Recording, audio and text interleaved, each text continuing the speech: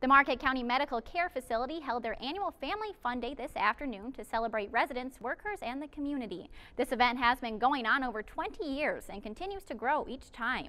Upwards of 200 people showed up this year to enjoy the day's activities, which included a bounce house, games, face painting, vintage cars, and food.